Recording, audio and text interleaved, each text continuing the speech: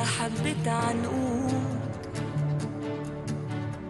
خير لكل الناس من دون حدود. بيبقى هالعطر وبتدبل الورود وبتدبل الورود ضلك بالفكر عايش وموجود. وقت اللي عم بيمر راح وما بيعود. عيش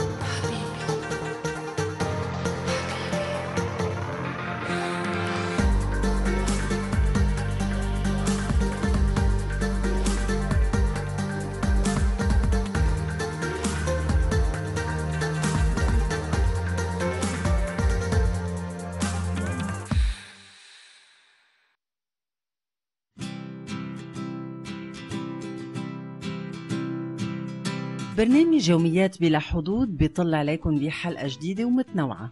خلينا نتعرف على السيدة لوريس مطر اللي رح تقوم بزيارتها سيرين بالحلقة القادمة. عندنا ملحمة بساحة جونة. آه، كان آه، عمي الله يرحمه يشتغل فيها. كنت شوي انزل ساعده. آه، هو في جوزي كان مستلم معه. وبفترة من الأيام من شي عشر سنين فكر يسافر على كندا. وجوزي مش فضيلة للملحمة. قرر يأجرها أنا عرضت على هالشي وقررت استلمها وتعلمت المصلحة مزبوط ومشيت فيها.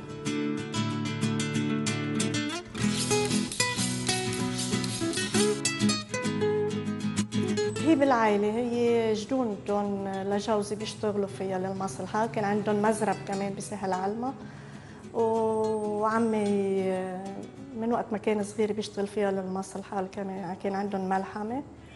ومن شي 60 سنة فتح هون. هلا فيها تشتغل بس محل الرجال أكيد ما فيها تاخذ دوره. بالنسبة للشغل يعني. إيه في كتير بيستغربوا. آه، في ناس لا يلي بيسافروا بيشوفوا في آه، برا في نسوان وبنات بيشتغلوا فيها للمصلحة ما بيستغربوا فيها. بس هون أغلبية اللبنانية يستغربوا بس آه، بعدين تقبلوها. وانبسطوا لأنه صار يجوا يلاقوا الملحمة نظيفة آه، طريقة اللحم طريقة اللبس آه، كل شيء على ذوقهم.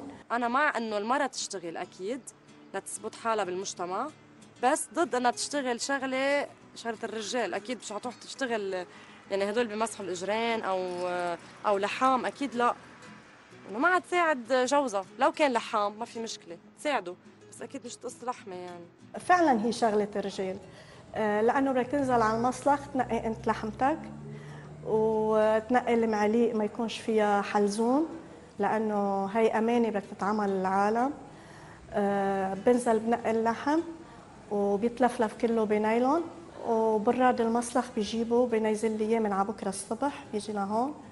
وأنا والموظف اللي عندي بنظبط اللحم بنعلقه بنفصله بنسويه وأنا حسيتها هينة يمكن لأني بحبها. حسيتها هينه أوين تعلمتها تعلمت تفصيل البقر تعلمت تفصيل الغنم وصرت أشتغل فيها.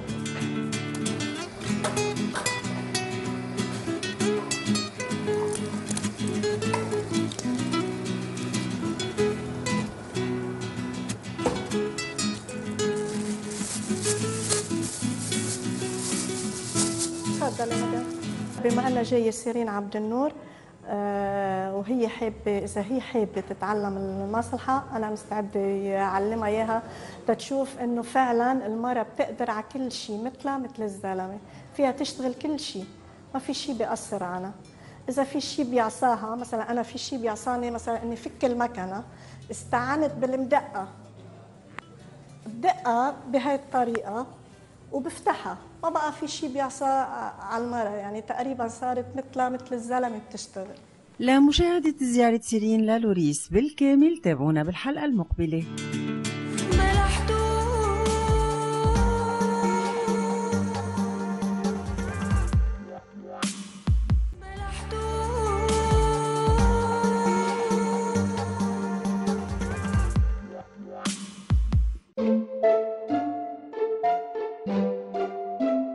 مختار ومحمد. اللاجئين السوريين اللي قمنا بمساعدتهم بحلقة سابقة بلشوا بتحضيراتهم للهجرة إلى كندا. خلونا نشوف شو مخططاتهم للمستقبل. بعد ما تعرفنا على السيرين وانتقلنا على بيت واشتغلنا وهيك من فترة شهرين اتصلوا فينا السفارة الكندية.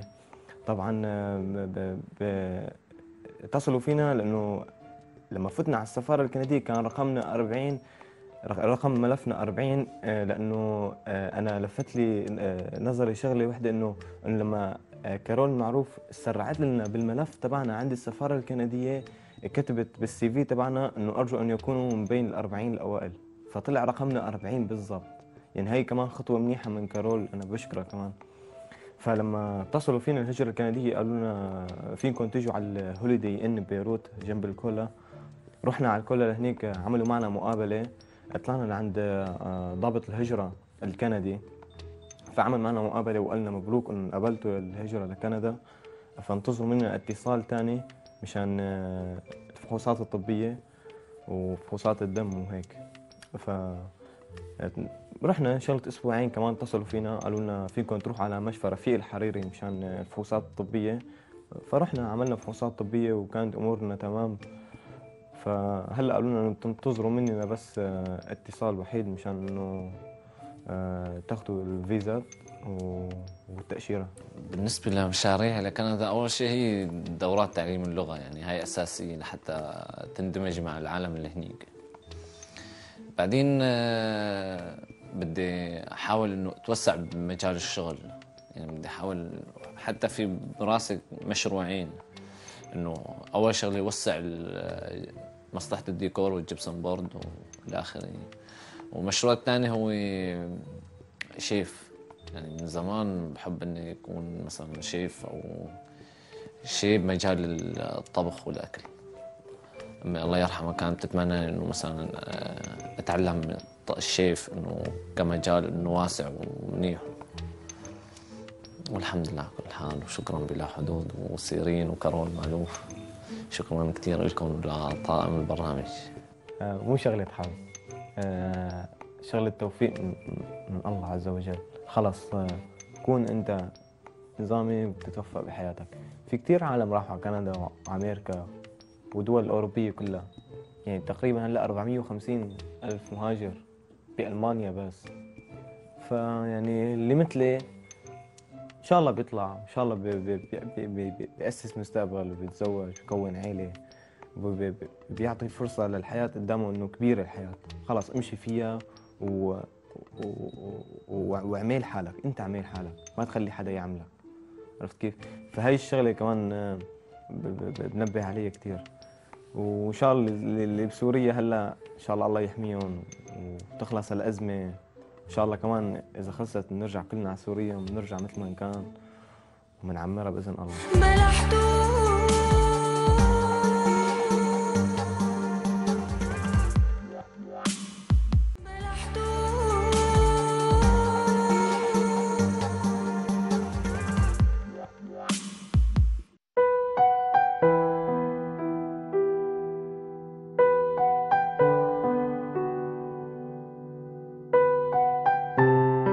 رندا يوسف. سيدة حبت سيرين تقوم بمساعدتها. خلونا نتعرف على قصتها بهالتقرير. عندي مشكلة أول شيء بإجري كيس دهني. صرت عملت شي ثمان مرات. آه عملت عملية الغضروف بركبتي. عملي آه cesarean كيس مي عملية مرارة افتاء مرتين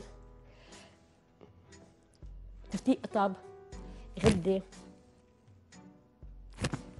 تقطيع الشرايين كنت أشتغل بشركة صقر طلعت لي وحدة بأجري من هون للدنكورة.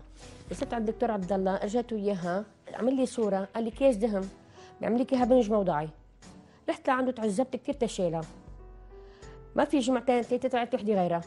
يعني صرت اخذي مانجا من إجر لإجر عم بيطلعوا. هلأ يعني كثير موجوعة منهم بطلت إجري عم توجعني من هون. مش عم بقدر أتحمل وجعهم. إذا بطلع من هون للدكان يمكن آه، مرتين ثلاثة بقلب على ركابي بيرتخيوا اجري ما عادش فيني أمشي منهم. هيدي مشكلة بالاجرين هي يعني مشكلة كثير انه الاجريه أنا لو بعرف انه شو دواهم بعمل لهم دواهم. مش عم لاقي لهم دواء. عمل لي أول مرة وثاني مرة والثالثه والرابعة وهلا عندي اثنين.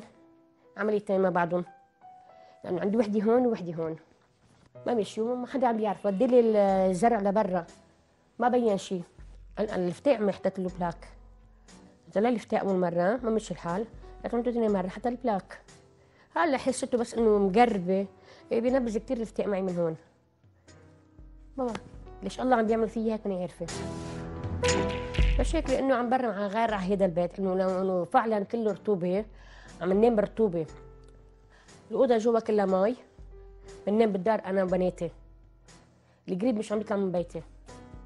والمطبخ لك ناشف بقلبه يعني اذا بصير لي بيت هلأ قبل بكرة ما بقول لا. يعني كله سخوني كله سخوني بالبيت يعني بتشكركم كثير وبتمنى عليكم إنه قد ما فيكم تطلعوا فيي وتساعدوني بهالبيت اللي قاعدة فيه كله رطوبة. إذا بتمنى عليكم تدبروا لي بيت أحسن من هيدا. بطلع من هالقرف كله.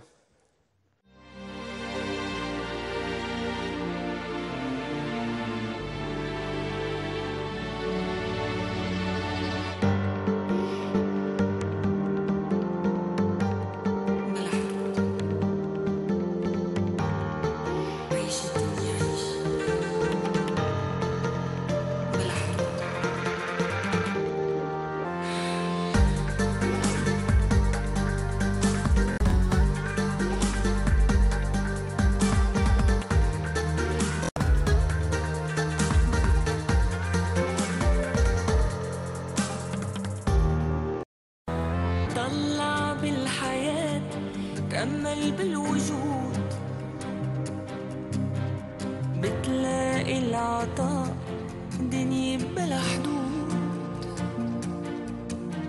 من شمس وقمر لحبة عنقود.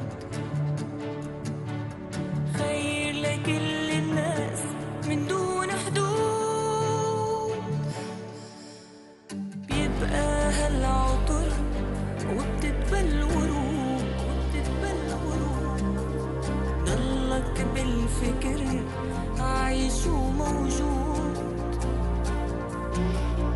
وقت اللي عم بيمر راح وما بيعود. عيشت